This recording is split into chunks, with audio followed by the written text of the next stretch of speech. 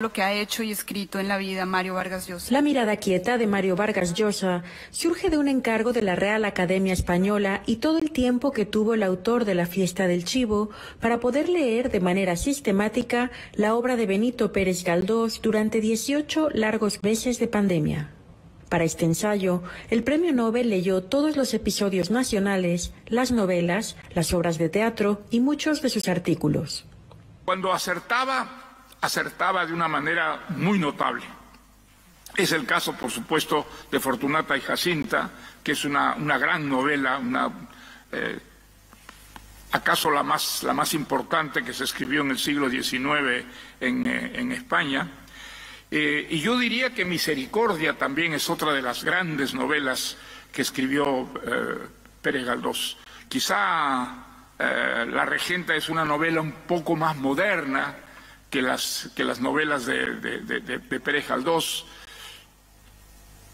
que están más, cerca de los clásicos que yo diría de la, de la novela moderna. Además de su contribución en el teatro, el Nobel de Literatura destacó la objetividad que consiguió Benito Pérez Galdós en los episodios nacionales. Una cosa muy interesante en los episodios nacionales es el esfuerzo de objetividad que él hacía. Él tenía sus propias ideas eh, políticas, eh, aunque no se, preocupaba mayormente de la, de la vida política, estaba mucho más concentrado en la obra literaria.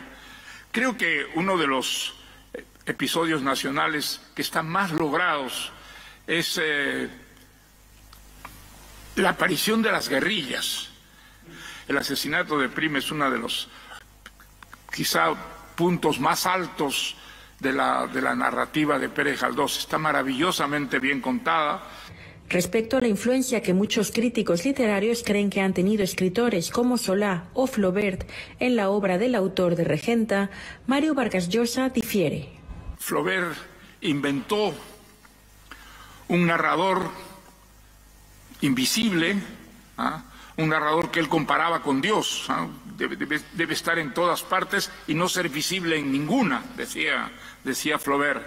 Y eso es algo que Pérez Galdós no entendió, eh, o, por lo menos no lo, no lo practicó nunca en sus, eh, en sus, novelas.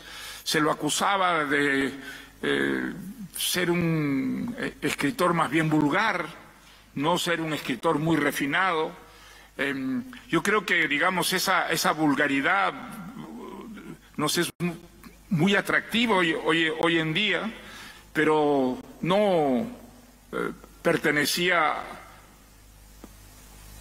al sector de escritores refinados, em, estilistas, em, cuidadosos de, su, prosa, ni muchísimo menos. Para Canal 22, desde el Ateneo Español en Madrid, Francina Islas, corresponsal. Es uno de los homenajes más hermosos que se le han hecho